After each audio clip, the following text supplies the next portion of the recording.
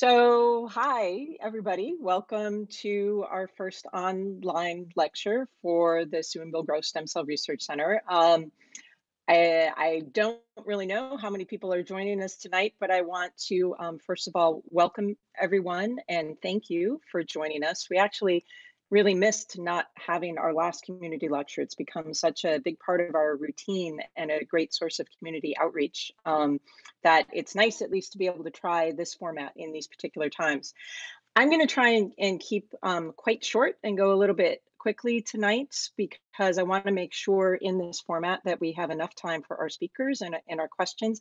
I do want to start out though by thanking a couple of people in particular who um, this evening would not have been possible without and just did a tremendous amount of work behind the scenes. And that's Judy Beck from the Stem Cell Research Center, um, and also just um, two really long time fantastic collaborators from UCI Media, Media who are on tonight and helping us to put this on, Will Alvarez and um, Kyle Good. So thanks you guys very much for all of your hard work behind the scenes. I'm sure that everyone who's here will join me in that.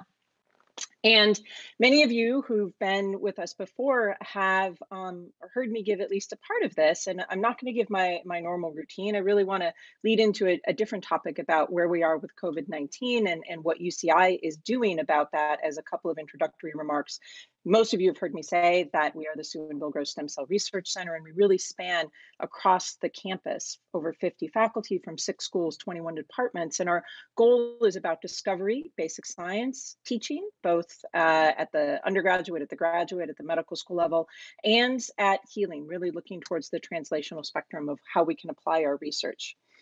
I talk typically about how to separate hope from hype when it comes to regenerative medicine and stem cell research because we think this is a really important topic. I'm just reminding you about that um, tonight. And that this road to regenerative medicine and stem cell treatments for us in California the California Institute for Regenerative Medicine has been so critical. Um, we're actually a little bit on tenterhooks right now because we're not sure if the ballot initiative has qualified for the fall because as signatures were being finalized was just when California was being shut down to the due to the COVID-19 crisis. So California did a fantastic job of getting out ahead of much of the country and flattening our curve and we're all really fortunate for that. Um, but we'll see where things are going to be with CIRM. We remain hopeful um, for now. Lots of people have been asking me.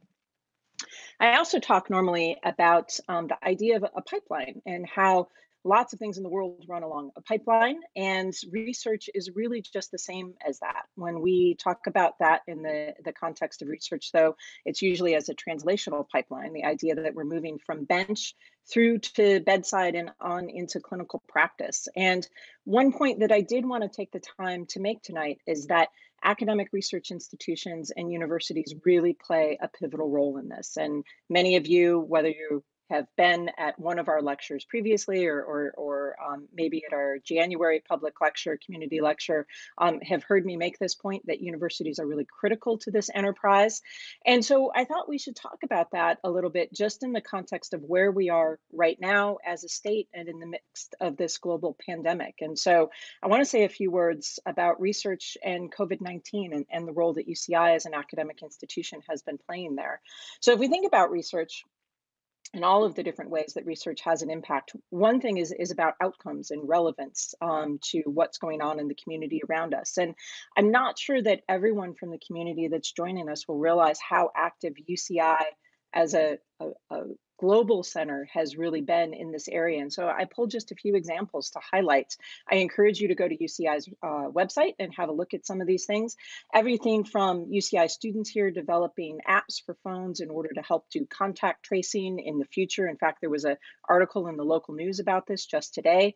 Um, UCI, uh, the Medical Center and School of Medicine, was on board as one of the first clinical trial sites to test out remdesivir. We all know that that clinical trial has been halted now because it didn't show the stellar effect that we were hoping for.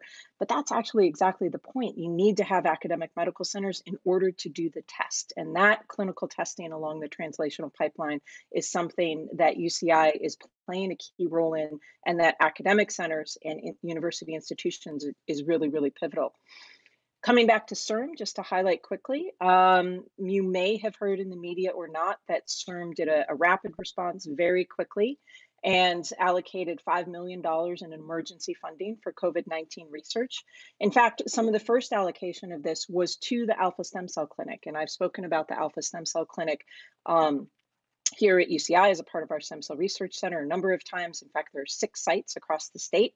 So the first funding that was allocated was to City of Hope, who's one of our Alpha Stem Cell Clinic partners. And we're looking ahead right now to having a trial for convalescent plasma um, that will go across all of the ASCCs as a clinical test, in fact, as a potential treatment for COVID 19. And so we're very much looking forward to participating in that.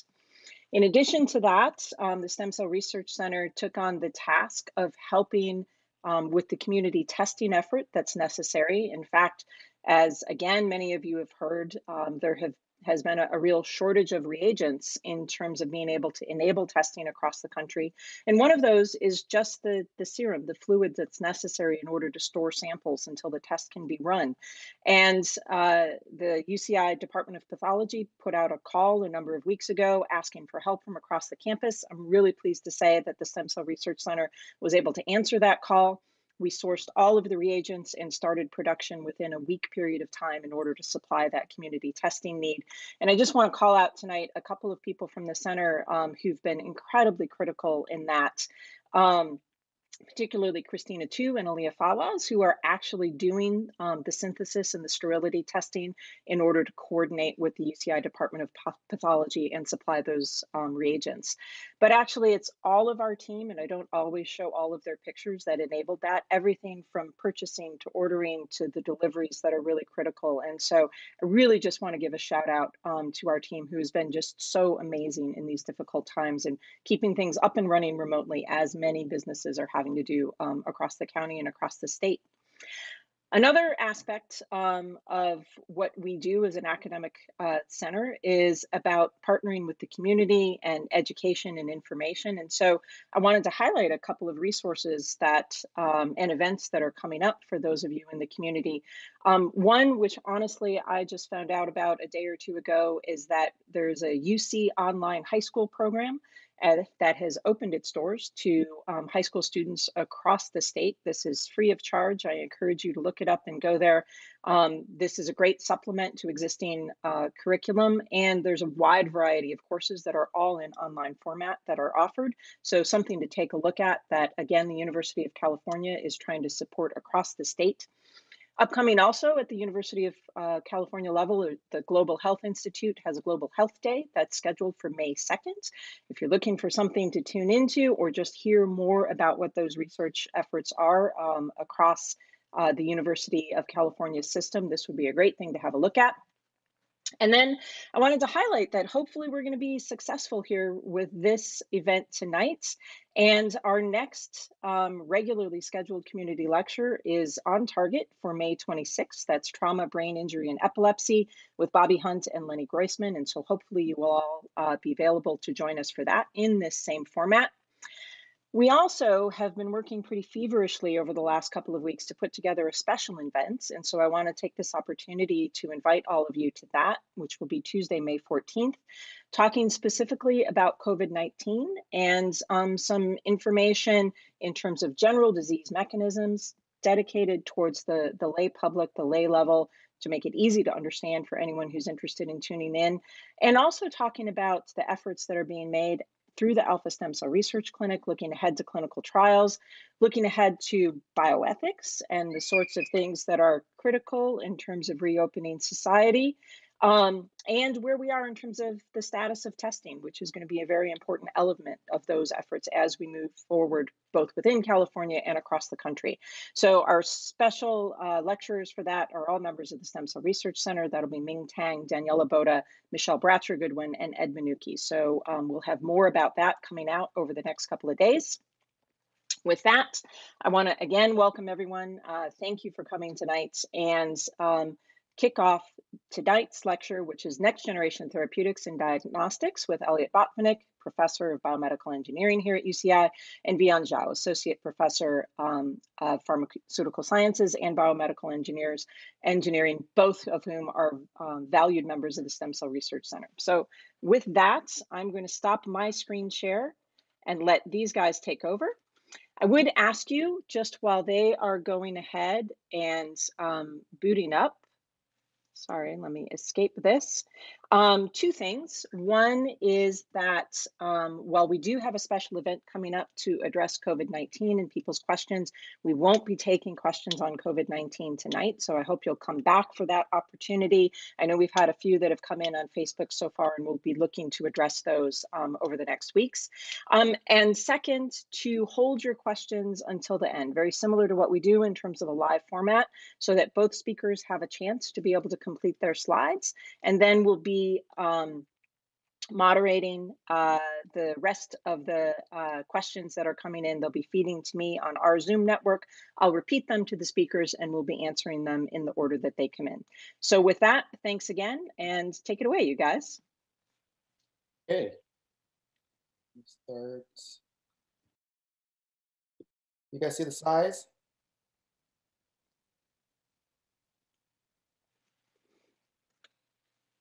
Cool, excellent.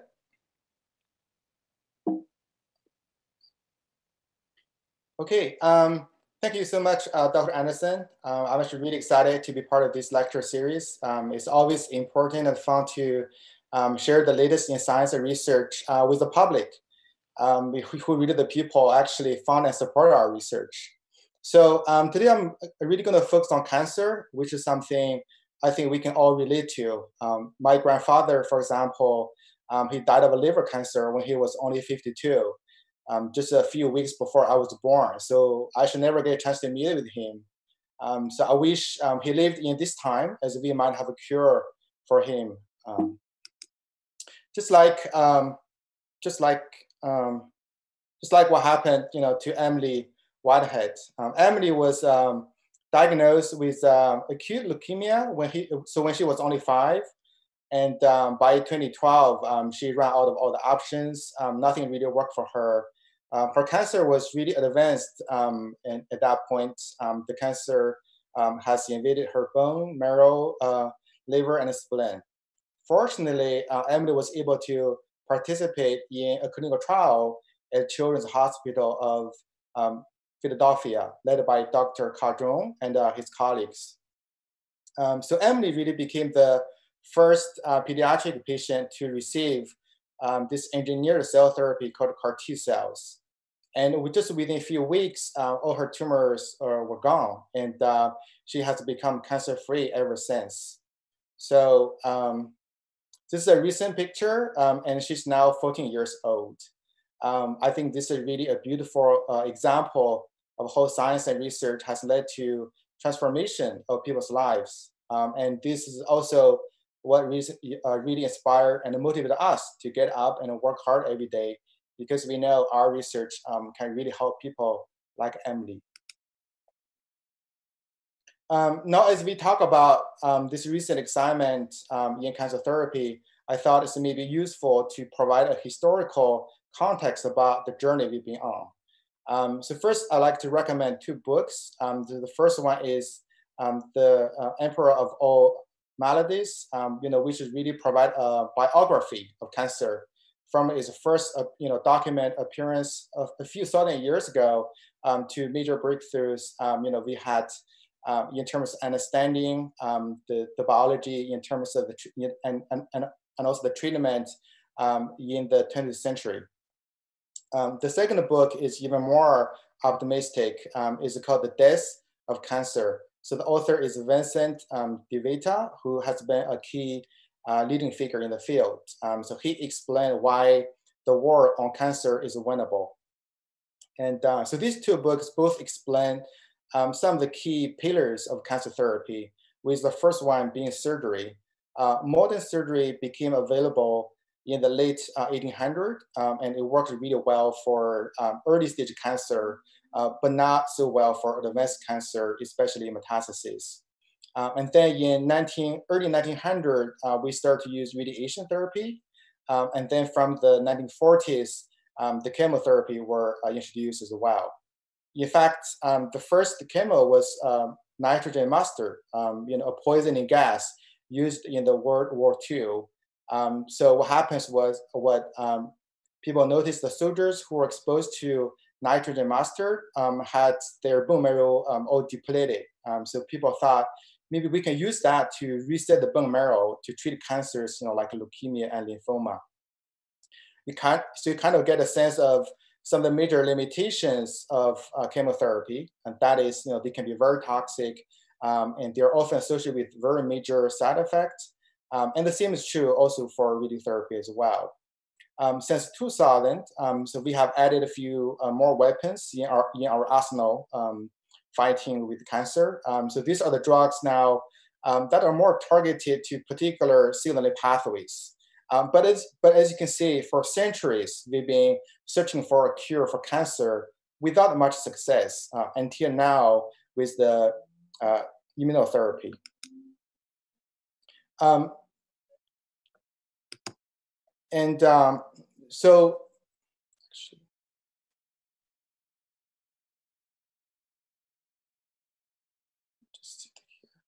um, by, by, by harnessing the power of the immune system, um, you know, we have seen uh, amazing results, uh, you know, like Emily's. Um, so what is so different about immunotherapy that make them uh, so powerful? Um, so first, the immune system has evolved with us for hundreds of millions of years. Um, so it really has the complexity that can match with the cancers. So um, at the center of the immune system is the T cells, um, a type of white blood cell um, that constantly conduct surveillance in our body um, to eliminate uh, pathogens such as virus and bacteria, as well as uh, transform cells. So much of what I would um, you know, talk about today is uh, you know, strategies we can use um, to enable T cells to see tumors better, kill tumors better. Um, now, with respect to immunotherapy, T cells in particular, um, so they're smart, um, they're living medicines, um, they can sense and respond to biological information, um, so they can target the tumors very specifically, and therefore, so they hold the potential to be more efficacious and less harmful to normal tissue. And uh, so they can also migrate around the body. So that is very important to eradicate metastases. Um, in addition, the immunity, once developed, can have long-term memory, um, you know, just like how vaccine works. So they can prevent uh, cancer recurrence. And finally, for bioengineers like myself, um, immunotherapy is very attractive because they're modular and can be engineered and programmed to target a very wide range of diseases or conditions. Um, the first use of immunotherapy for cancer can actually be dated back 130 years ago. Um, in the early 90s, a bone surgeon called um, uh, Dr. William Coley, um, who actually treated a sarcoma patient. Um, so he found something really interesting. Um, he observed that some cancer patients experienced spontaneous remission of their tumors when they got infected from a bacteria called Streptococcus. So he got this idea and uh, injected live bacteria into patients with malignant tumors. It, it was okay to do that sort of experiment 100 years ago. Um, but remarkably, uh, numerous of those patients uh, went on for long-term remission. Uh, in fact, you know, one of the patients lived on for another uh, 26 years and uh, eventually died from a heart attack. So at the time, Dr. Coley thought the bacteria you know, are the ones that kill the tumors. Um, but now we know um, that is probably due to the immune system weakened by the infection. Um, Coley's approach uh, was largely dismissed at the time, and partly because newer method, um, you know, like a radiation therapy, soon became the standard, um, but also because it's only recently we began to learn enough about uh, cancer and the immune system, so we can effectively utilize immunotherapy for treating cancer. In fact, uh, cancer is very smart. Um, they have uh, you know evolved numerous ways to trick our immune system. Um, so as I said before, our immune system constantly con um, conduct surveillance um, and it would eliminate any abnormal cells um, and healthy conditions. But um, one trick uh, tumor used to deceive the T cells is actually by expressing molecules that are healthy normal cell used to uh, indicate self. So this molecule um, here um, is called immune checkpoint proteins, um, such as PD-1, um, PD-L1 as an example here. So what happens here, basically the tumor cells tell the T cell, I'm a friend, um, so you should stop. Um, so now the tumor became invisible to the immune system and the cancer is waning. So now as a therapeutic strategy, you can think of using inhibitors or antibodies um, to block the interaction between PD-1 and the PD-L1. Um, and, and, and now you can release the brakes and unleash the T cells to kill tumor. Um, this approach has led to the FDA approval of um, ipilimumab in 2011. Um, that's really the first in the class. And now there's a few others um, antibody drugs has been approved as well. Um, it also led to a Nobel Prize in medicine um, to Dr. Allison and Dr. Honjo in 2018 for their discoveries of two of the key immune checkpoint proteins, CTLA4 and P, uh, uh, PD1 respectively uh, and also for their effort in developing therapeutic strategies to target these molecules. Now, these medications are now available to treat a variety of cancer types and have helped uh, hundreds of thousand patients. And in many cases, the patient is in long-term remission. Jimmy Carter, um, the former president, is one of them. Um, he received one of these medications for his uh, metastatic melanoma and has been cancer-free ever since this is another uh, beautiful example how science and research has led to a drastic change uh, in one's life in a very positive way. Um, a documentary um, on Jim Allison's story uh, called Breakthrough uh, just came out recently. I watched um, is is very inspiring. Um, it not only told us science is the foundation to this success, but you have to dare um, to challenge the, you know, the status quo and uh, persevere be patient as well. Uh, when everybody else tells you what you do will not work. Um, so it's really uh, very inspiring to watch. Um, highly recommend to you. Um, in the example I just showed you, I talk about a therapeutic strategy where we give antibody drug to a person to unleash the T cells in his body to kill the tumor. Uh, now I want to discuss an alternative strategy where we can take the T cells outside the body and engineer them genetically uh, with a CAR molecule. Um, and this is um, an artificial receptor. And this artificial receptor is um, a chimera, a name derived uh, from hybrid uh, animals in ancient uh, mythology, um, because this molecule combines both the tumor antigen binding motif, enabling the T cells to see the tumor cells, as well as um, activation signals um, to program uh, the T cells into a killing mode. And the two of these drugs um, have been approved by the FDA um, two years ago um, to treat B cell leukemia and lymphomas. Um, so the workflow for CAR T therapy start with uh, isolation of the T cells, um, and then you reprogram them with the CAR in the petri dish, and you can multiply them in the culture as well, and then you inject back uh, to the same patient.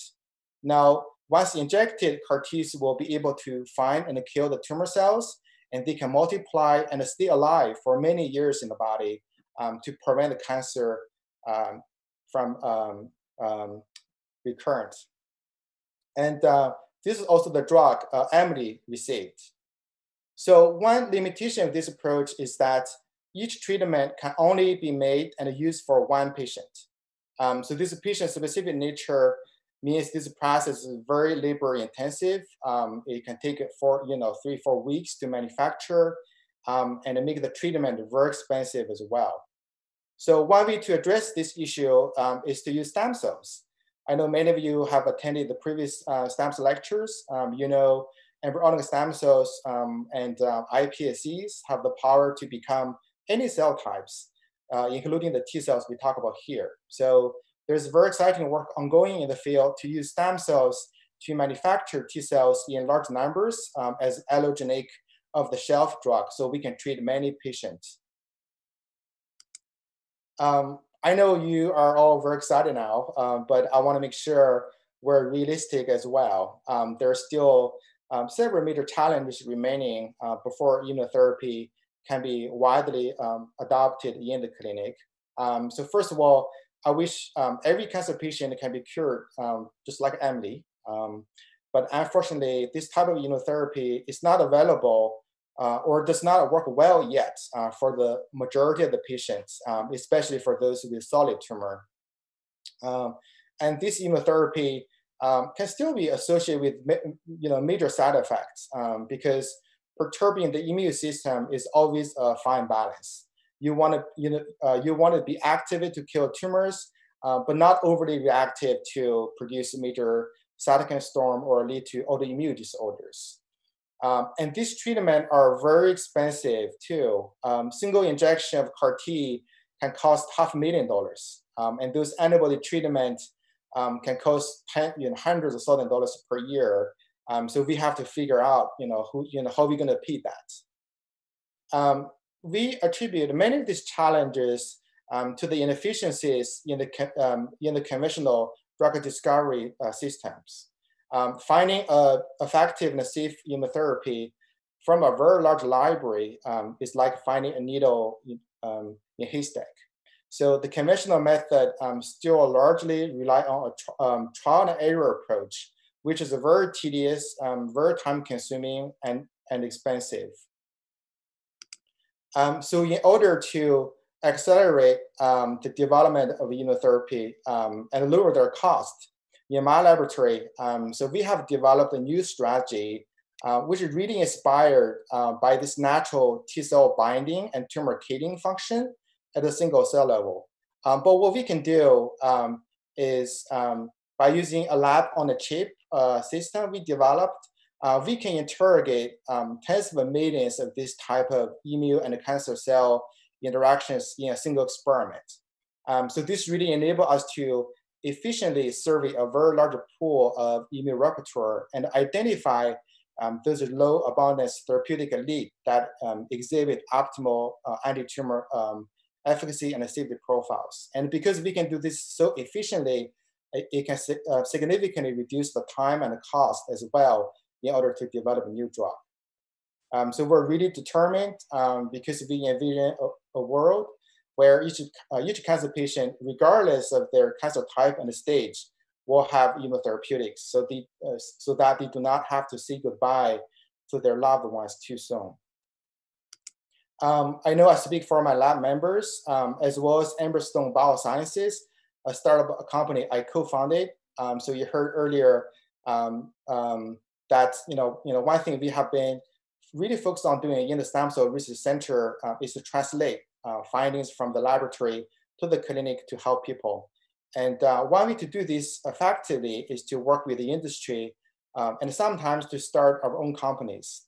Uh, in my lab, uh, it is common that um, you know a graduate student or postdoc who work on a new technology, um, and when they finish training in the lab, um, they go on you know working in the companies that we formed. Um, so they're so passionate about what they do, um, are really determined to take it all the way to the market. Um, I also feel enormously fortunate to work here at UCI. Um, you know, I'm sure Dr. Botvinick will tell you more about it, but UCI is one of the best in the country in terms of innovation, entrepreneurship, and really providing us with exceptional environment and resources to um, succeed in this front. Um, at Amberstone, we already have a big and a strong team. Um, I thought my labs are working pretty hard, but these people in the company, they do not stop um, because they are really um, automation. Um, well, occasionally, um, so they have some fun as well. So this was from a beach party uh, we had last summer. Um, really amazing people, and I've been learning a lot from them. Uh, again, so I, you know, I speak to you today on behalf of my lab members as well. Um, so they're really the ones who did all the work. so in my lab, uh, we have trained over 100 uh, postdocs graduate student and undergrad. But one group uh, I'm so proud in particular is our high school interns. Um, so the most fulfilling aspect of being a professor uh, is to be able to work with young people like these ones. So one thing I have now realized also is that um, so they are so so much smarter than I am. Um, they know so much more than I did at their age. Um, so it's you know really comforting to know the future is in good hands. finally, I just want to share some information and uh, resources that you might find useful.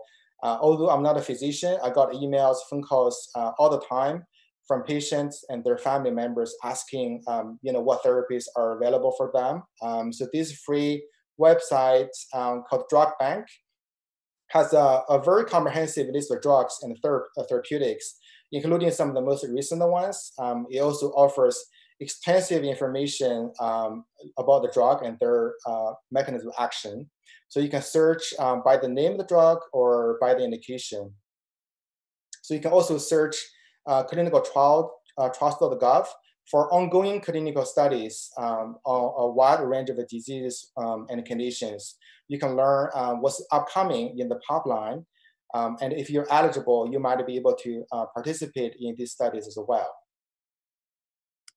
Um, with that, I just want to thank you for um, for tuning in today. I know it has not been uh, easy uh, for everybody um, due to COVID-19 situation. Um, but if we unite um, and uh, show love and support to each other, um, I think we're going to win this soon. thank you again. So I'm happy to address any questions in the end.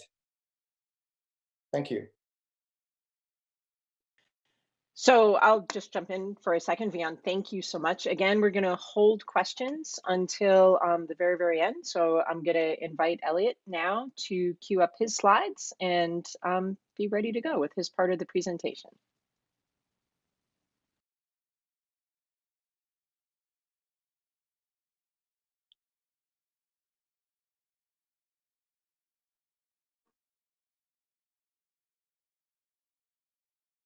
Okay, thank you. Uh, Weian, it's always such a pleasure to hear you talk. Thank you. I'm assuming you guys can all hear me. Um, if you give me a minute, I'm gonna run over to the Gross Gross Hall. Okay, thank you. All right, this is a more appropriate venue for my talk. So thank you for tuning in, and thank you, uh, Director Anderson, for inviting me to give a talk. I'm very, very flattered you would consider me um, I'm on the faculty of biomedical engineering and surgery um, at the Beckman Laser Institute, and I currently serve as the associate director for the Edwards Life Sciences Cardiovascular Center. Uh, before I start, I'm not going to discuss stem cells, but some of my talk is related to diabetes, and I just want to remind you that our Stem Cell Center has two world leaders in cell therapies in the treatment of type 1 diabetes and uh, shoot me an email if you want to be put in contact with these two.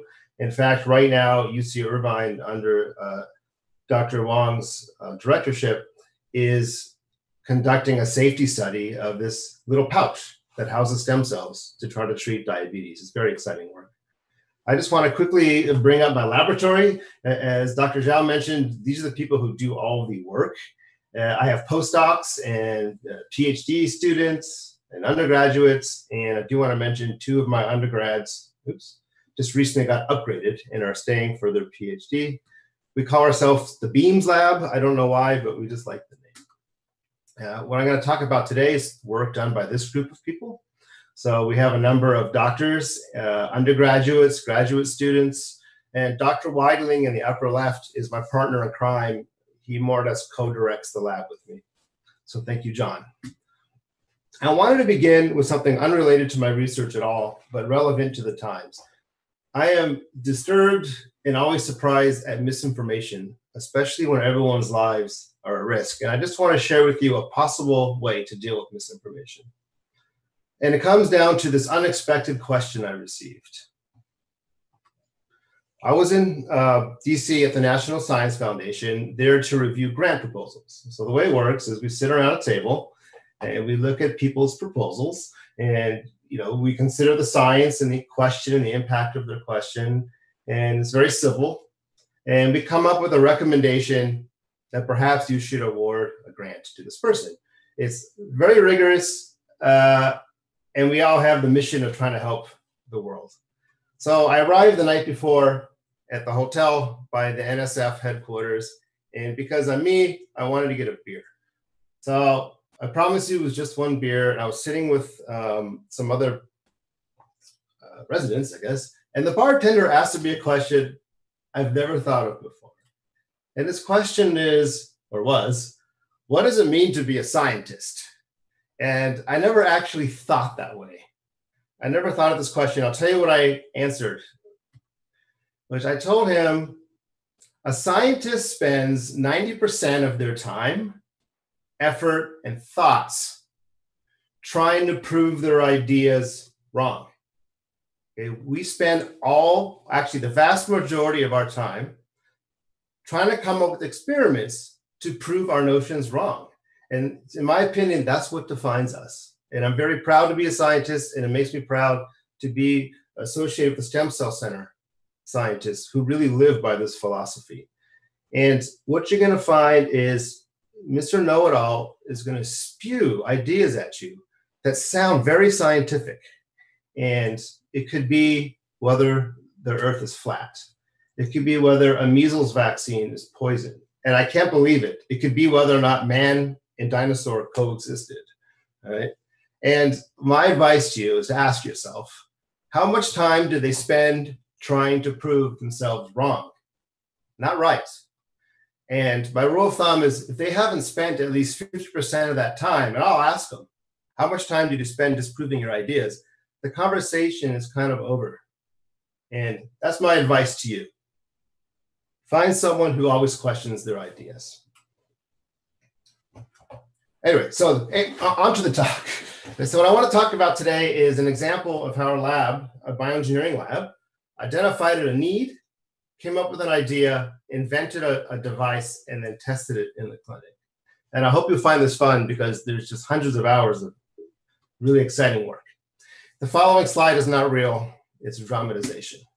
So the way this project started is the military, the, the uh, combat casualty care director, came to my institute and asked, can you please make us a continuous lactate monitor? So lactate or lactic acid is the molecule we think about as making our muscles sore when we exercise too hard. That's not actually true, but it is a molecule that gets produced when you become very anaerobic. You work out very hard. And it turns out its elevated levels are um, correlate with survivability and helps identify which subjects or which patients should be treated first. Right?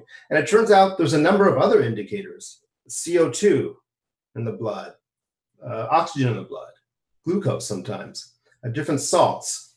And in a hospital, your blood gets drawn and sent down to the lab. And it can take hours to get the results back. And sometimes in critical medicine, an hours is too long.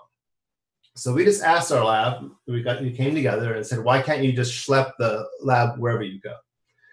So we said, all right, let's take a hospital lab and shrink it down into the skin. So here's a rendering of original idea, which is to have this little quarter size flexy thingy on your skin and a fiber that goes under the skin that's several hairs wide. And when you zoom in, we just want a bunch of little pads. We're being abstract each pad will measure a different chemical in the body and then wi- just wirelessly transmit the idea, uh, the data, excuse me, to the physicians, clinicians, nurses continuously. Like, wouldn't this be awesome?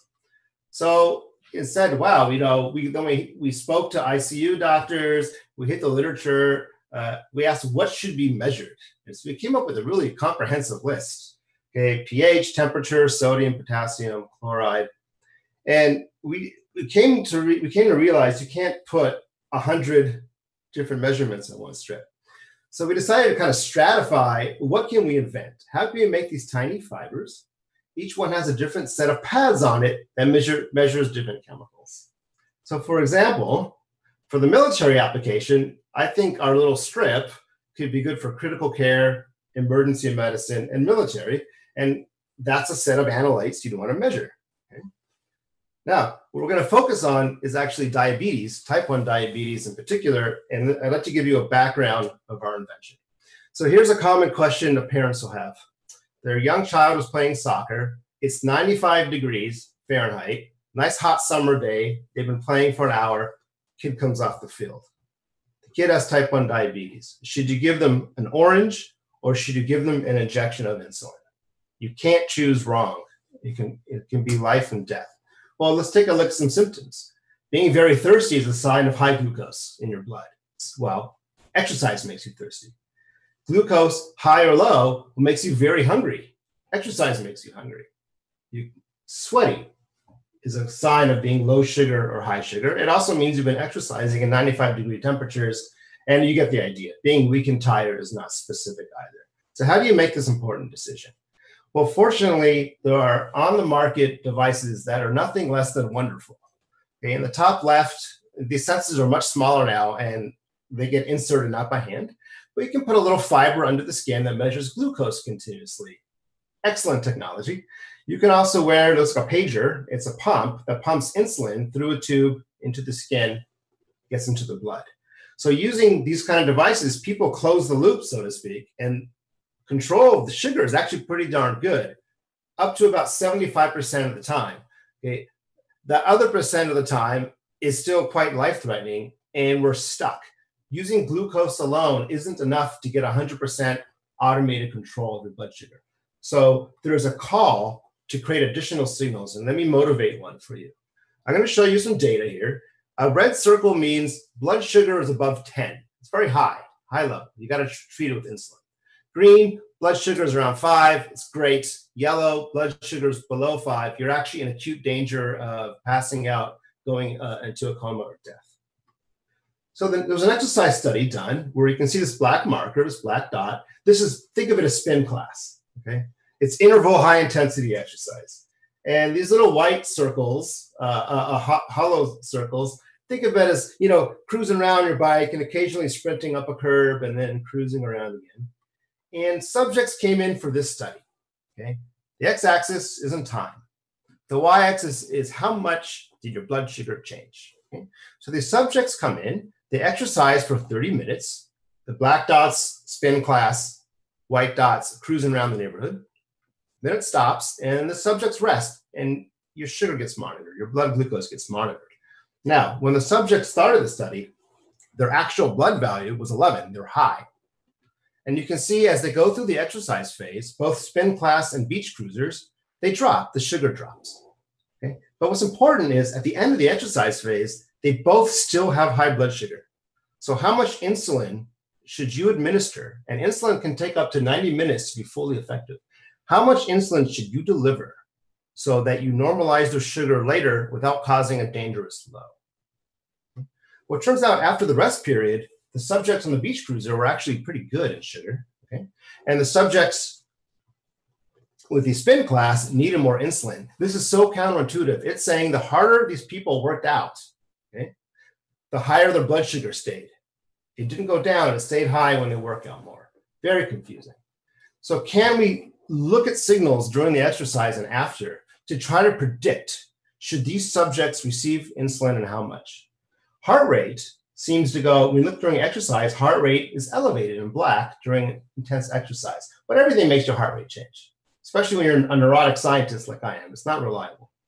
But blood lactate, the lactic acid in your body, looks really specific okay, when, to how hard you're exercising. You can see the elevated signals in spin class versus beach cruising. And so this kind of data captured by other scientists inspired us to try to make a continuous lactate monitor.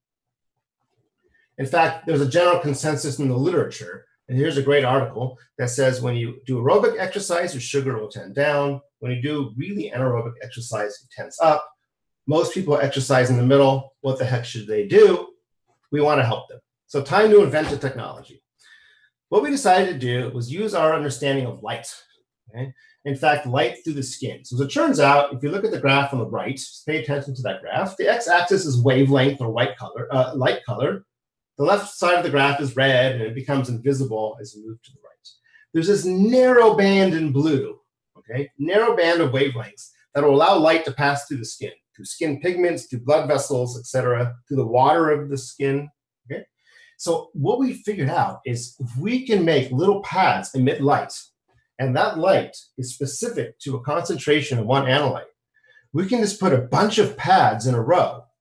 And as long as we activate them, activate them one at a time, they can all share the same spectral window, allowing us to measure multiple, multiple analytes. This is what one looks like. Okay, this is an older version. And uh, you see the three LEDs in yellow on top of a little flexible fiber. and a quick video of John assembling this device under the microscope using the tip of a needle, tweezers, and no caffeine in his body. And there you go. It's made by hand. It's kind of ugly, but this has been in the clinic and it works pretty darn well. Our current version is half as thick as this thing. Okay, it's the size of three hairs. So what is that green film? It's so simple. It's beautifully elegant. We take a biocompatible membrane that looks like spaghetti when you zoom in. Okay? Then we coat all of the strands of spaghetti with a dye that responds to oxygen. And then we fill all the pores of the bowl of spaghetti with a goo that contains this enzyme called lactate oxidase. And the chemistry is simple.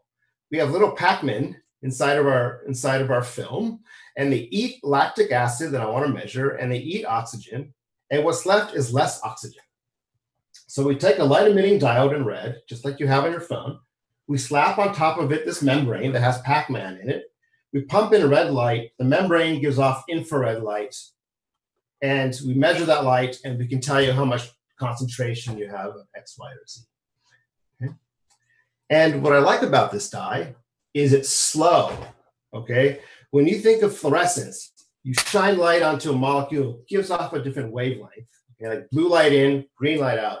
That happens so quickly. Okay? In nanoseconds, it happens in the billions of the seconds. I can't design electronics to capture that event that you can wear in the skin. But these molecules we use, when they bind oxygen, okay, they give off a phosphorescence. It's really slow. It's in millionths of a second is how long it takes. And I can measure that with about $5 worth of electronics. And what we do is if you just look at the solid red line, in time, we turn the LED on and then we just turn it off.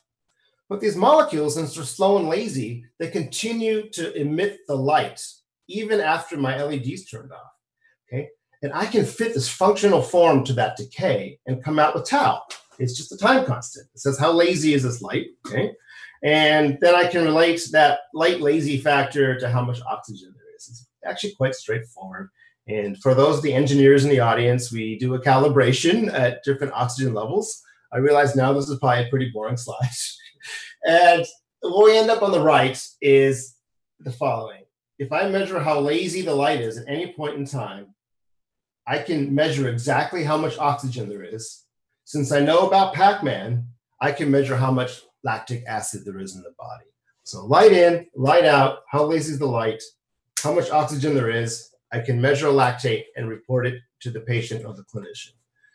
So what we did next is we set out to make these things. It was actually incredibly difficult. So we made our flex fibers, okay, our little flexible circuits, and decided to make a lactate sensor first.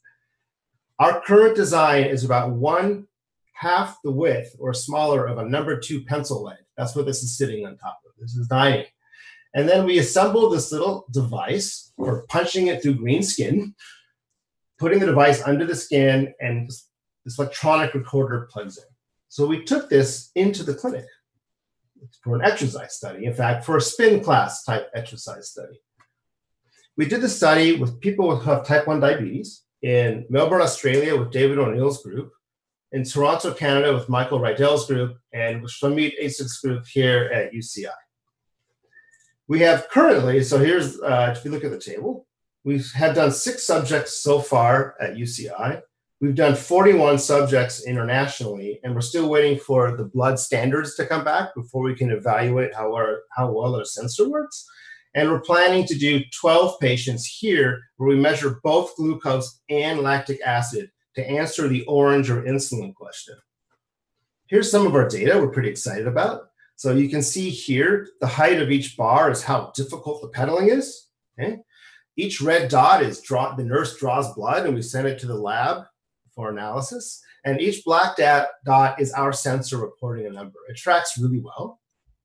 In fact, here's beautiful data. I don't think anyone's ever seen this kind of data before, where someone's cycling and with each pink bar in time, they're pedaling really hard for a couple minutes, then they relax and they pedal really hard. You can see the body clears lactic acid after the first bout. Then it begins to build up and build up as they keep exercising more difficultly, uh, oh, excuse me, with uh, more strenuously until it clears. And we think there's information in the shape of these waveforms that will tell us blood sugar three hours later. And that's the point of our upcoming study. And just to show you, our device is working pretty darn well There's a hundred things wrong with it. Uh, if you want to talk about that, let's get a cup of coffee. But we're working on making it perfect. And now we're to our end goal, and I'm going to wrap up my talk in just a minute here. We have now designed a version of this that measures glucose, oxygen, and lactate simultaneously. These are clinic ready. We're ready to go into studies. Okay? We've gone onto the benchtop and we've shown in orange and yellow that we can measure lactic acid changes in a solution and we can measure glucose changes in a solution independently from each other, which is incredibly non-trivial, at least for us. It was hard. And now we can finally do the study to test our hypothesis, which is continuous blood lactate signals can predict glucose values or trends in the hours after exercise. Because if you can do that, you can decide whether to eat or to administer insulin throughout the day and allow exercise to come back into your life when you're suffering from this disease. Our study is simple. Subjects will come in for an intense, medium, and moderate exercise day. They're going to do uh, bicycle studies during the gray bar. This is time on the x axis. And we're simply going to track in red the blood lactate concentrations and see if we can predict which of these blue paths blood glucose takes hours later. If it turns out there's predictive power, we're going to contact the insulin pump manufacturers okay, to see if they can integrate our sensing technology into their artificial pancreases. Unfortunately, we were just about to start this study about one week after the COVID 19 pandemic shut down the campus. So I can't show you the results of that study, but I can tell you we're really ready for it. And so, in summary, uh, I have shown you how we've identified a need as engineers, just conceptualize what should this thing even look like before we invented it. Then we came up with an invention and ultimately deployed it into the clinic. What's, what's happening next? Uh, we're actually submitting a proposal and have neat data that we're going to add ketones. If anyone here in the audience lives with diabetes, you'll have glucose, lactic acid, and ketones continuously in one thin fiber. And working with Professor Weiss, Greg Weiss in chemistry, we're working on insulin sensing, and that would be added to the same device. And I just want to take a minute to thank our donors um, and our funding agencies. It never ceases to me to amaze me at how generous donors are. And the impact of your donations on science cannot be overstated. I am deeply, deeply grateful to you. And I thank you for your time and thank you, Director Anderson, for allowing me to talk.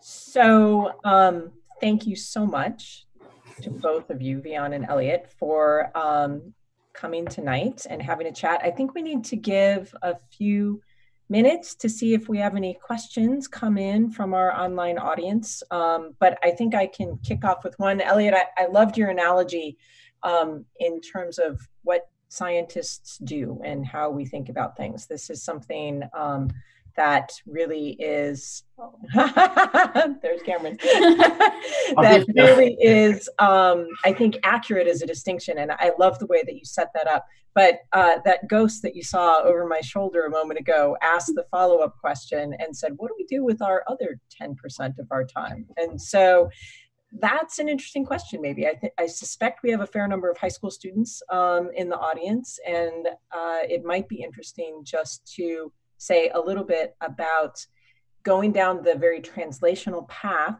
that you both have done, where disproving your hypothesis is such a central part of being a scientist. How do you make that work on the translational course? Where are you spending that other 10% of your time in order to follow that pipeline down the path? Hmm. Uh, well, a lot of the 10% of the time is in Zoom meetings, as it turns out. uh, you know, it's a hard, there's a lot of boring parts of translational medicine that I'm, I'm almost reluctant to talk about quality assurance, keeping the documents, doing tests. And this actually, I have one great answer for you.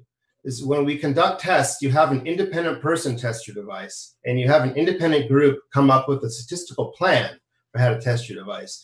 Those are the two ways in which questioning yourself 90% of the time can manifest themselves in translational medicine, like we do. So um, for me, Dr. Anderson, I think, you know, 10%. So I, I kind of want to address your question from a very different angle, right? So I spend a lot of time, uh, more than 10% uh, actually, to um, just look for good people um, to work with, you know, both for collaboration, but also to really bring on the team to um, to work on this project. You know, I, I find that's a very important aspect uh, for the success, you know, both for translational work, but also for basic science as well. Just to be able to identify those people. Um, you know, that's why we spend a lot of time. Um, you know, we try to nurture them from very early on. So, you know, you, you saw this high school student um, you talk about as well. I think, you know, so that's, you know, something really important we spend a lot of time working on.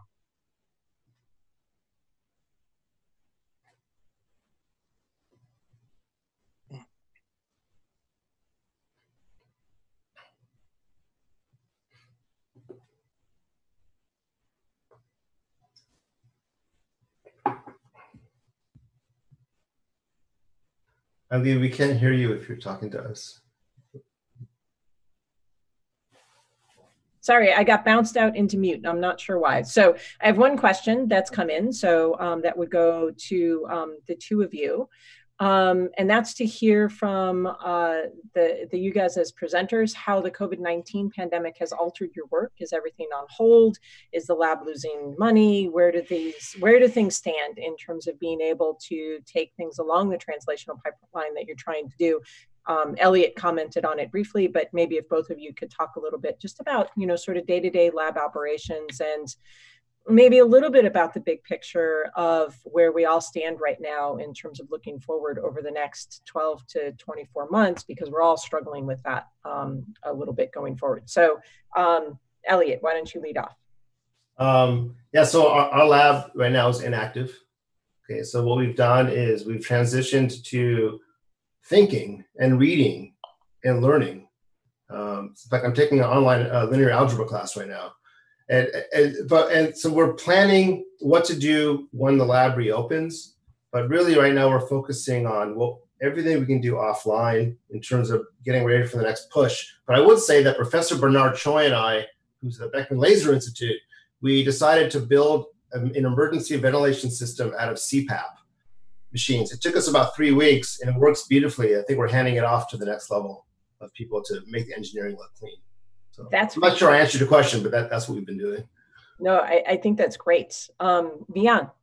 So for my lab, um, so of course, you know, we're not working in the in the lab on the bench, um, but I have to say, you know, this is probably the most productive period um, for my lab in the past, you know, you know, eight and a half years, um, because we are able to, you know, you know, sit, the, you know, sit, um, you know, just just write. Um, the write papers, um, there, there has been lots of papers overdue. Um, you know, on the normal time, you know, people are distracted by by working on the bench. Um, but but now everybody really can focus on their writing. Uh, we submitted a few papers already. Um, you know, I think that's you know really exciting. But at the same time, um, so my um, team, uh, so we've been kind of uh, developing rapid testing uh, as well as therapeutics as well for COVID-19. Um, so for um, you know, especially my companies, you know, so they still open, so they work. Um, I kind of you know help them along, you know, as well. So I'd be very happy to talk about those subjects. You know, there's something really exciting. That's fantastic. Great answers from both of you. I, I guess I'll, I'll just say for, for my lab, it was asking about the three of us. I think we're all in kind of the same situation of um, it's a challenging time for our graduate students and postdocs who really depend upon being in the lab and getting data out. Um, but as Weian highlighted, um, there are you know some other sides to that. Many of us have turned to look for COVID-19 related projects that are really relevant. We actually are launching a set of studies to um, look at how um, SARS-2 coronavirus might be neurotropic and affect things like neural stem cells. Hmm. Um, and I think the stories that you two highlighted in terms of you know ventilator synthesis and sensors are like incredible examples of where academic institutions are really, really important, even in situations like this. And it is critical to be able to investigate new areas and pivot your research in that direction. That said, graduate students and postdocs are in a, in a rough spot in general because their dissertation, mm-hmm. their work, their next steps are really on hold. And so, to whoever the person is who asked that question, it's it's a challenging time, but we're also very, very fortunate, and I think most of us um, recognize that. We have a, a follow-up question that's come in. Um, and I think that um, this must be to Elliot. Um, did you say that your device could be used for other conditions by monitoring, monitoring other sets of body chemicals? And so maybe just say um, a few words on the sorts of initial examples you highlighted in terms of being able to customize this device design. Yeah, I think that maybe the, the best answer is we need more people. So if you're interested, shoot out, uh, reach out to me. The way we would do this is once we understand the condition we want to monitor, we would ask ourselves what analytes can actually improve care by knowing them continuously. So that's the first question you ask. And then what you ask, or we would ask, is what chemistries exist to allow us to detect the presence of that molecule? Do we need to invent one, or can we take advantage of something that's published? Or even better, can we work with someone who knows how to do it? And then it's a matter of miniaturization and chemistry and chemical engineering to put the material, these chemicals, into the film and create a new strip. It's a fun process, and we would love. It's a great opportunity for education. I'm not sure how old the person is who asked the question. There's a lot of learning involved, but that is our general process. So identify the need, what signals have value to be, to be measured continuously, and then how do we put those set of signals onto a new strip? And I think maybe I'll just chime in and say quickly, I, I think that's a great um, example of how the relationship between biology and engineering works, that um, it's one way that you really get to effective translation and effective implementation of devices because you really have to do this combined effort of looking for a need and understanding what that need is and then doing the basic science building up how can you devise a sensor like that how does the how does in surprising ways how does it happen that your blood glucose is changed by exercise? And so oftentimes out of that back and forth process really is where you're advancing both the basic science and the translational applications at the same time um, in parallel. So I, I, think it's really a terrific example. Um, maybe I, so i have another couple of questions coming in here. Can i pivot to beyond for just one second? Um, one of them uh, is i think um, i'm parsing a little bit. Um, in terms of cancer therapies that are coming along how has um, stem cell research um, impacted things like CAR T cells, mm-hmm. um, or for example, NK cells as immunotherapies are moving forward. And so maybe just say a few words about that so that we come full circle here in terms of um, our audience understanding those connections. Yeah, no, I mean, that's, um, you know, very exciting um, ongoing work. Um, you know, I, I just had a few lines on my slides. You know, I did not really elaborate, you know, on that topic. Um, but, you know, I think because um, you know one of the challenges you know to make T cells, um, you know, like I mentioned on the slides, right now is you know you have to make for one person, right? You know, take a few weeks, you know, very expensive, you know, just you know for that one person, um, and and um, very time consuming as well. But um, so if you think about using stem cells, right? You know, iPSCs and you know embryonic stem cells, you can really uh, manufacture, um, you know, T cells or other, you know, kind of immunotherapy, you know, like you mentioned, um, you know, NK cells in a very large quantity, right? So you can really scale up, you know, that process.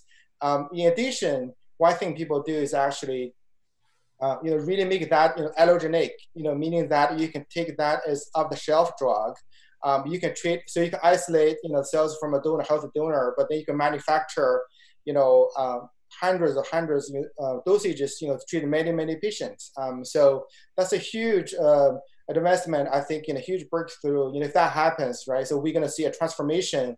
Whole stem cell, um, you know, whole stem cell technology can really advance uh, immunotherapeutics um, and, and, and for cancer and other disorders. Um, it's just because you know stem cells are kind of high, you know, you know, the high on the on the tree, right? It can really become any other cells, and yeah, that has that huge advantage. Yep, that was a great answer. Thank you. Um, Elliot, I have one more that pivots back to you. This is from Franz Klevet. Apologies if I got that wrong. Thank you so much. I was wondering how you determined where to place the sensor. Are there different places that might be better? Um, and do lacto- lactase, lactose, glucose levels vary depending upon that location? Um, and uh, a parallel question to that, how are you able to measure the accuracy of your sensors? Can you explain how that process works in terms of validation? Yes. Uh, well, it's a great question. So I can tell you where we've placed it.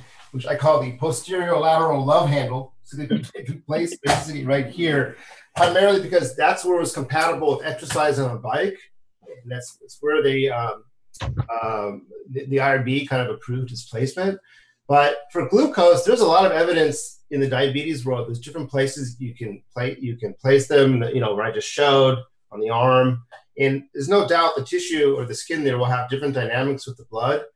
To my understanding, at least in glucose, the dynamics don't vary so much that it can affect your uh, closing the loop. That is a speculation. I don't have hard data on that. For lactate, no one actually knows. So for a really grim application like injured soldiers, this is horrible to think about, but you can't actually plan on which skin is available. Okay. So if you optimize it for the arm, you may not have access to the arm. It's just horrible. Okay. So for the purposes of a type 1 diabetes, we would conduct a study to place the sensor in places that patients or wearers would likely wear them. So I can't answer your lactic acid question yet until we do more studies. It is an excellent question and on my list of what to question myself about. Well, that's, that's part of my you have a good question. Yeah, sorry, that was a really good question. And the way the way we test them, just to be brief, we, we, we have venous blood draws and we use a, a standard instrument called a YSI analyzer or an iStat to get the blood reference. Right, perfect. Um, another question that's come in is can some version of this lab on a chip technology be used to detect COVID 19? What are the potential applications? Um, I think that would really, well, yeah, what are the potential applications in that regard? Yeah, well, I mean, the answer is yes. Um, so, like I mentioned, we have an ongoing project. Um, so, using some of those technologies. Um, so, in one form, we actually, um, you know, in collaboration with Dr. Phil Felgner. Um, so, using his microarray technology, uh, you know, where they print a lot of antigens for COVID-19. Um, so we can do very high, you know, very high throughput, but also highly multiplexable serology testing for antibodies, you know, in the blood, right? So, you know, to really kind of understand the penetrance of um, the infection um, and really get people back to work. Um, so that's really ongoing. Um, so, so that's actually, um, you know, almost ready to um, deploy in a very large scale. that's something really, really exciting. and the other, you know, single cell analysis I talk about. so, you know, we have ongoing project now to uh, analyze you know B cells from this recovered patient and to really discover super neutralizing antibodies uh, for COVID-19. So both projects are very exciting. Um, so I'm you know I'm very shy to ask for help, but I think if anybody um, who um, are interested in be involved in those studies and help our research, um, you know, do let me know. Fantastic. That is great. So um, we're at about 10 after 8 right now. You guys did just a wonderful job of, of being on time. I'm just looking to see if we have any other questions that have come in. Um, and we don't right now. I want to take a minute to give people to just shoot in any other questions that they might have. And um, remind the audience that we do have, if, if I may, that we have this upcoming special event Thursday, May 14th, where we're going to be talking about um, COVID 19 related questions and work. Ming Tan from the Microbiology and Molecular Genetics Department and Center for Virus Research is going to be giving an introduction on SARS 2 and COVID 19. Daniela Bota, our ASCC director and the Associate Dean of Clinical Research here at UCI, is going to be talking about the COVID 19 clinical trial landscape, including some of the things that are queuing up through the Alpha Stem Cell Center here. Michele Bratcher Goodwin Chancellor's professor in the School of Law and also a member of the Stem Cell Research Center, is going to be talking about bioethics and how that relates to the decisions that are made around uh, reopening society, ending or altering social distancing as we move forward in this pandemic. And Ed Monuki, who's professor and chair in the UCI Pathology Department, is going to talk about the current status of testing for COVID 19 and I knew I was going to kill enough time for this to work. Um, here we go. We have a question from Amy Jordan. Dr. Botvinick, do you think these sensors are something that someday people could use in everyday life to monitor their own biochemistry, maybe even get one over the counter to hack their diets, alter their exercise program? And where can they monitor their ex their levels of these chemicals? Oh, could you use could you integrate that with a smartphone in order to make choices that are lifestyle choices? Well, thank you for the question, Dr. Jordan. Um, Well, yes. Eventually, we would like this to be over the counter. One of the analytes we're working on is to measure ketones for um, looking at high blood sugar, but actually, it's great for detecting if you're burning fat. You know, I wore a continuous glucose monitor, a commercial one, for two weeks. And I was really stunned by how my body processes sugar. In fact, I think everyone over the age of 40 should wear. And I think as we allow people to understand how their body processes food, there can be diets prescribed that we never even imagined. So yes, I hope that, I hope this could be over the counter and really give people that people are used to data now. Give them the data they need to improve their lives. That is definitely our goal. And talking to the iPhone, it's already we already do that. It's pretty straightforward. Yeah. It's need an electrical engineer and a locked door. I'm not really so sure that I want to know how chocolate is affecting me though, because it's important for other reasons for my mental stability. So you need a psychiatrist for that, I think. Yeah.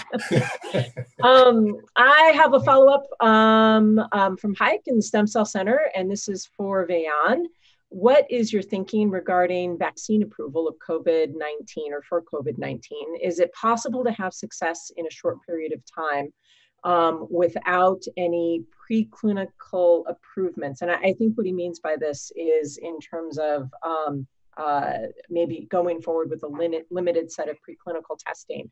Um, again, just to point out, you know, in two weeks, I guess, we'll have something that's much more focused with some real experts in terms of virology research that'll be here. But Weian, if there's a piece of that that you feel like you can feel, have at it. Yeah. So, um, you, you know, I think for COVID 19, the vaccine development, um, you know, we just you know really take you know unparalleled approach and pace um, in terms of the vaccine development. You know, something we never seen before. Um, and right now, there's already a number of vaccines being tested um, in clinical trials. Um, but just to understand, and that will take a few months at least, uh, because we want to make sure, uh, first of all, they're safe, right? And also they're efficacious as well. So each of these fees actually take a few months. Um, and the, the reason why we do this is because, um, you know, for vaccines, we tend to deploy them to a, a very large population. We want to make sure there's nothing wrong, uh, you know, going to happen, you know, for people. Um, so, um, so that's kind of the current status. Um, but for therapeutics, uh, right, if you only give you know patient a few times, um, and there's uh, you, you, know a number of those are ongoing as well, and hopefully some of those will be um, you, you, know showing efficacy and get approved, you know, even before the vaccines. Yep, that was great, and I, I suspect maybe I'll just add um, one piece on that. I, I think that question may have come from some reports in the media about vaccines going into production before clinical testing. And I think Weian's point is exactly right. Even if they go into production, that just means gearing up. It doesn't mean that there won't be any safety testing that's done because that's done because that's a really, really important element. We wouldn't want to deploy a potential vaccine into a large segment of the population without safety testing. I don't think it would roll out that way. Yeah, I would add um, it doesn't make sense to safety test something that hasn't been shown to be mass producible either, because it could change in the correct. effort to make it mass producible. Yep. Although vaccine production technologies have come pretty far over the last 10 or 20 years. So it, it is a bit of a different game um, than it might have been, well, in our last pandemic some time ago. Um, we have a question again for Weian. Is it, uh, this is from Seema Baldwin.